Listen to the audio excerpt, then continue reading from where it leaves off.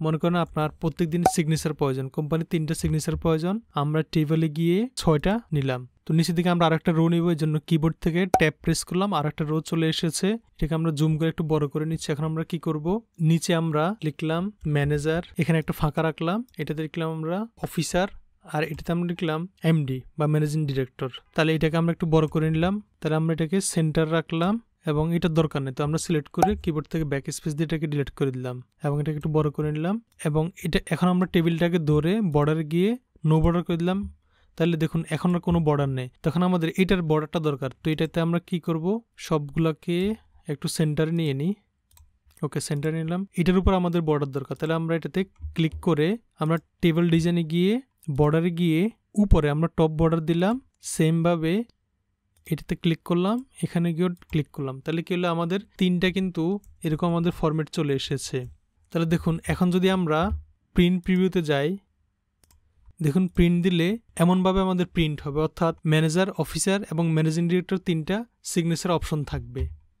তাহলে আমরা কি করব? এটা সেভ করে রাখব। প্রত্যেকদিন আমাদের যে কোনো কিছু টেক্সটের প্রয়োজন হতে পারে, তা আমরা কি করব? এভাবে সেভ করে রাখব কিংবা আপনি এখানে চাইলে সিগনেচার দিয়েও আপনি সেভ করে রাখতে পারেন। তো আমি একটা দেখাচ্ছি, মনে করেন ইনসার্টে গেলাম সিগনেচারে গেলাম, যার পরে দিস ডিভাইসে গেলাম, এবং আমরা একটা সিগনেচার এখান থেকে রাখলাম তারপরে এটাকে আমরা ছোট করে নিব একটু, এত বড় দরকার নেই, কিংবা সাইজে গিয়ে আমরা এখান থেকে একটা সাইজ দিলাম এক ইঞ্চি এবং এটাকে আমরা ক্রপ করে শুধু এই টেক্সটটা আমরা রাখলাম। বাকিগুলো আপনি চাইলে রাখতে পারেন কিংবা ব্ল্যাঙ্ক রাখতে পারেন। এখন আপনি কি করবেন? এটাকে আপনি প্রত্যেক দিন যাতে নতুন করে এটা না তৈরি করতে হয় সেভ করে রাখবেন। তো আপনি এটাকে এভাবে সিলেক্ট করবেন।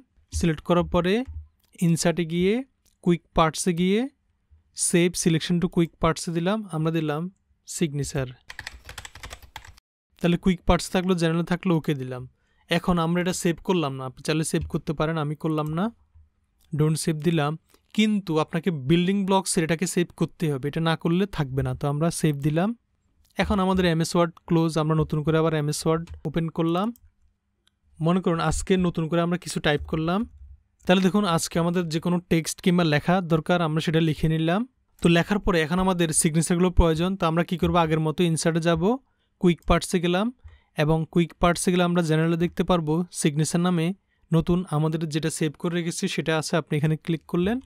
এখন দেখুন, আমাদের সিগনেচারের তিনটা অপশন চলে এসেছে। তো কেমন আসবে আমরা একটু প্রিন্ট প্রিভিউতে গিয়ে দেখি। দেখুন, এমনভাবে চলে এসেছে। তাহলে এটার মাধ্যমে আপনি সব কিছু রাখতে পারবেন। আমি শুধু আপনাদেরকে সিগনেচার দেখিয়েছি।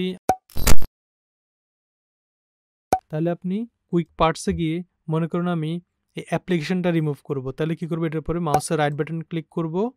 তারপর আপনি এখান থেকে অর্গানাইজ অ্যান্ড ডিলেটে ক্লিক করলাম। তাহলে দেখুন, এটা সরাসরি সিলেক্ট হয়ে চলে এসেছে। তো এখন আপনি এটা সিলেক্ট থাকা অবস্থা যদি আপনি এখান থেকে ডিলেট দেন, চলে যাবে। ইনসার্ট দিলে ইনসার্ট হয়ে যাবে। তো আমরা যদি ডিলেট দিই ইয়েস দিলে এটা চলে যাবে। তাহলে এভাবে আপনি আপনার কুইক পার্টস দিয়ে যে কোনো কিছুকে আপনি সেভ করে রাখতে পারবেন। তাহলে এ ছিল আজকে আমাদের ভিডিও ভিডিওটি আপনার কেমন লেগেছে সেটা অবশ্যই আপনি কমেন্ট করে জানাবেন। এবং এই ধরনের ভিডিও পাওয়ার জন্য ইউটিউব চ্যানেলটি অবশ্যই সাবস্ক্রাইব করে রাখবেন। Thanks for watching